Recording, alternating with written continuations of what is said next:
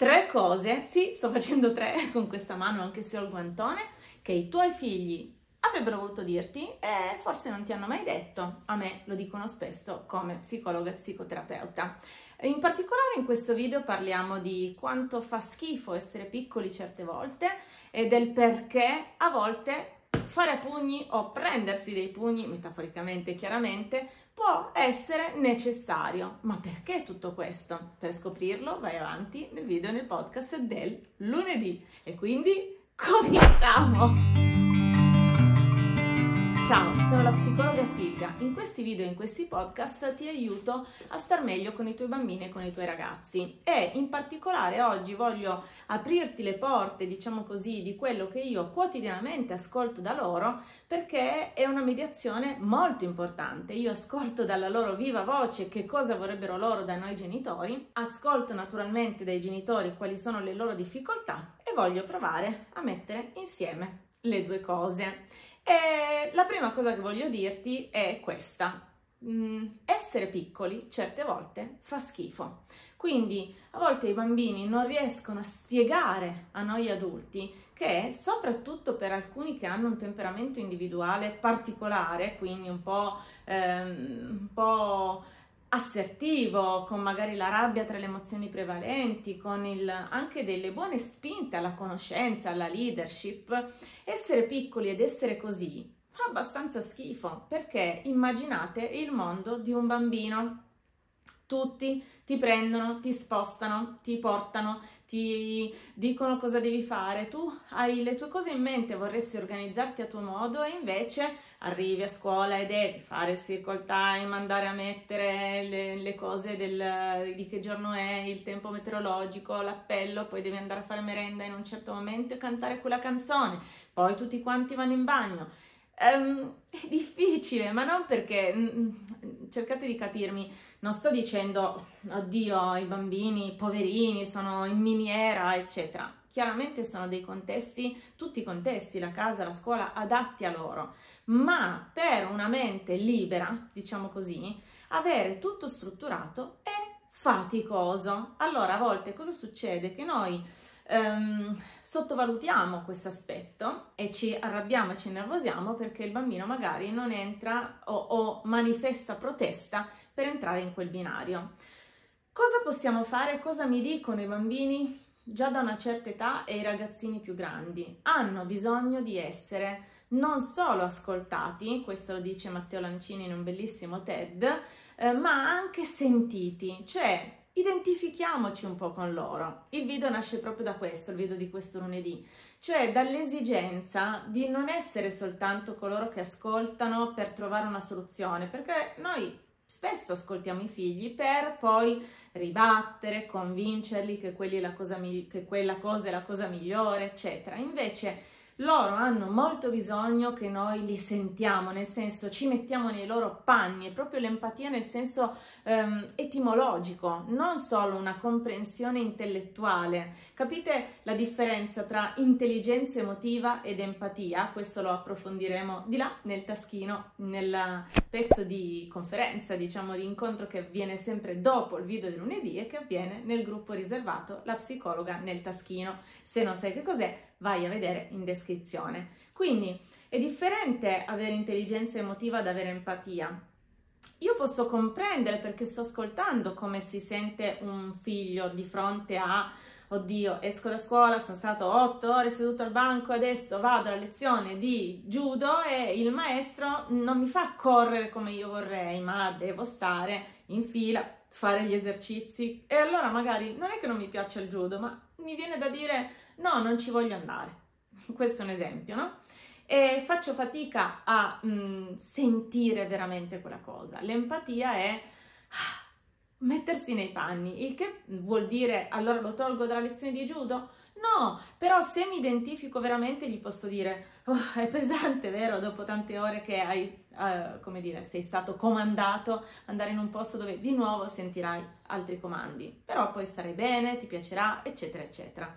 Quindi, prima cosa che i figli vorrebbero dirci e che a volte non ci dicono, essere piccoli è un po' pesante se vuoi fare le cose a modo tuo, perché devi sempre farle a modo di altri e questa cosa non è semplice. Se proviamo a identificarci con loro e non solo ad ascoltare, ma proprio a metterci nei loro panni.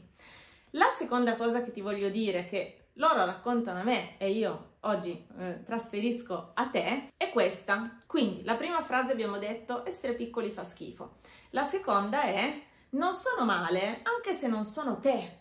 Cioè a volte noi genitori ci mh, mm, preoccupiamo e ci allarmiamo quando vediamo i figli diversi da come siamo noi. È un fenomeno un po' strano, io a volte lo descrivo così la gentorialità è l'unico ambito eh, agronomico dove il seme e l'albero che cresce è diverso dal frutto che ha. Mm, no? Si dice la mela non cade lontano dall'albero, ma in realtà quello che accade a volte è che noi ci aspettiamo che cresca un determinato tipo di albero e invece ne nasce un altro che sicuramente ha anche delle caratteristiche dell'albero da cui proviene quell'alberello, ma neanche di sue personali. Quindi attenzione, anche se i figli magari non sono la stessa cosa che pensavamo noi, non è detto che siano male, ok? Hanno i loro talenti, le loro potenzialità. A volte noi guardiamo lassù per cercare che, mh, di mh, farli diventare qualcosa che vogliamo o molto più spesso per paura che diventino qualcosa che nella nostra fantasia va male, senza fidarci delle potenzialità, vai a vedere il video sulla fiducia, del fatto che, boh, magari vogliono, vorranno o percorreranno strade differenti, ma sarà ok, saranno delle brave persone, saranno felici, in gamba nei loro ambiti, anche se non saranno magari quelli che ci aspettavamo noi e qui arrivo alla terza affermazione che è molto importante perché poi ti dico ancora una cosa alla fine che racchiude un po' tutto e per, il, per la quale ho iniziato con i guantoni mh, mm, nelle mani.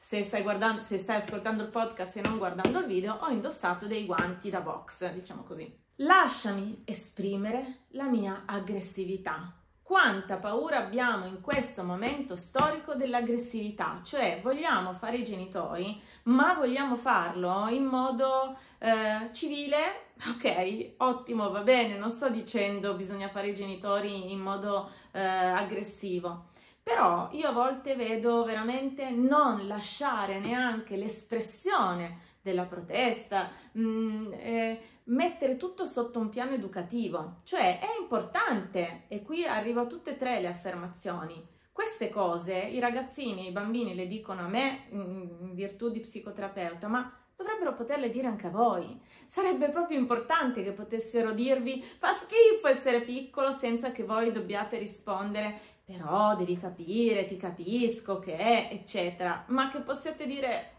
ok, hai ragione o comunque lasciare uno spazio per l'espressione.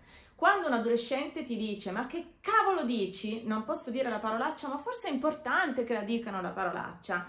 Noi ci preoccupiamo del fatto educativo, ma come? Dice la parolaccia, ma non l'ho mai detta fuori, fuori è un dandy che si comporta benissimo e, e tutti dicono, oh mamma mia quanto educato, ma in casa almeno qui, almeno con noi, cioè noi dovremmo essere come adulti, um, un po' il pungible, forse sono, sono, partita col guantone, ma forse la cosa che dovevo mettere nel video veramente è il pungible, non vuol dire facciamoci sempre solo trattare male, ma vuol dire non abbiamo neanche così paura delle parti aggressive. Se, se, esce un po' quella parte, esce in un contesto protetto, almeno in casa. In casa ci togliamo no? le ciabatte, ci mettiamo in mutande. Allora, anche dal punto di vista dell'energia e dell'aggressività, Possiamo lasciarla uscire in un modo accettabile, chiaramente non lascerò mai che un figlio si faccia del male, faccia del male a qualcuno o rompa e rovini gli oggetti,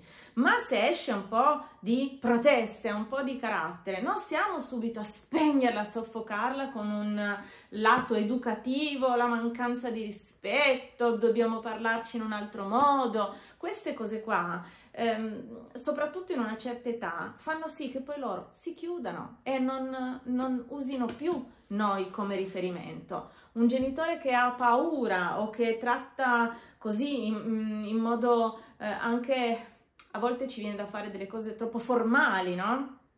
delle parti aggressive, eh, è, è come se avessimo proprio tutti quanti paura di un conflitto, di attraversare anche un po' il conflitto. A volte i ragazzini mi dicono: Io vorrei poter dire questa cosa a mia madre, che lei mi rispondesse anche: Ma vai a quel paese, ma anche con parole più forti. Ma sento di non potere perché sarebbe delusa da me. Ecco, perché ci sentiamo delusi se i ragazzini esprimono in casa, quindi in un ambiente protetto e con noi che siamo le figure più importanti per loro, anche le loro parti veementi, aggressive, eh, di, che, che, vogliono, ehm, che, vogliono, in qualche modo anche eh, emergere e autodeterminarsi. A volte veramente l'aggressività, anche solo sotto forma di conflitto, ripeto, accettabile, non è un invito a dire ok, eh, facciamo tutto quello che vogliamo e parliamo solo con le parolacce, ma io vedo correggere i ragazzini, non so, no?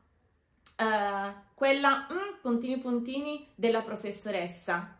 Lasciamoglielo dire, lasciamogli dire anche la brutta parola, è un, è un momento in cui proprio il fatto di dirlo a parole eviterà che facciano delle brutte cose poi veramente alla suddetta prof. Invece, anziché concentrarci sul assorbire un po' quel colpo, eh, però non si dice così della professoressa, eh, usa delle parole più educate.